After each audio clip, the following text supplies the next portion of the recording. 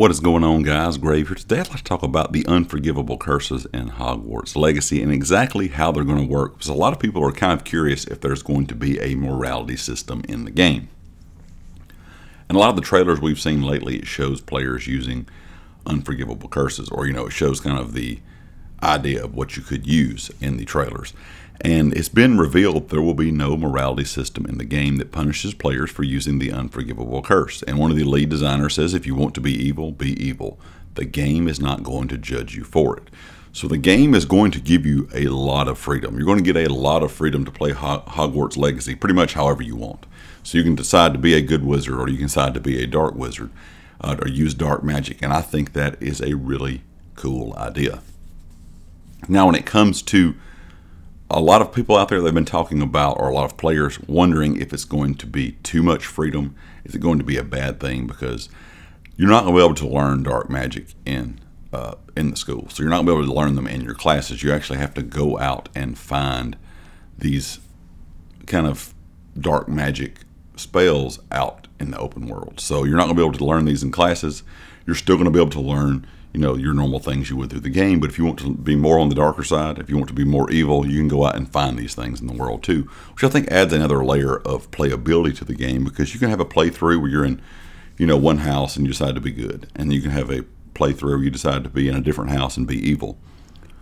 I'm sure at some point it may kind of change how the story goes. I'm, I'm sure we're going to have different endings and, and different things throughout the story from the choices you make but the good thing, the thing that I like about it is if you decide to be evil, the game is not going to judge you for it.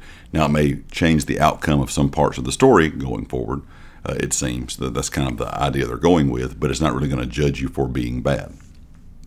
Now, some people have been talking about they think it's going to be make the game too easy because they do talk about the unforgivable curses are forbidden for a reason, and they can cause great carnage and it will give you a leg up on your peers, which could kind of result in your player becoming overpowered. And some people think that if these are as strong as they sound, that may make the game way too easy. We'll kind of have to wait and see on that. That could be an issue. I understand why people are thinking about that or, or talking about that in general.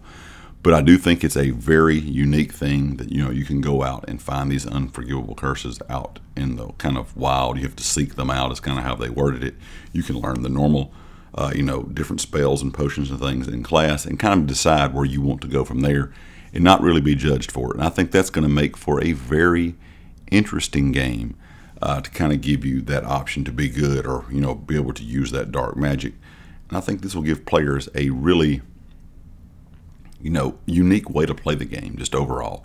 You're going to have that choice of what you want to be without really any consequences. So leave me a comment with your thoughts. And of course, if you like the video, hit the like. If you have not subscribed yet, please do so. And I'll catch you next time.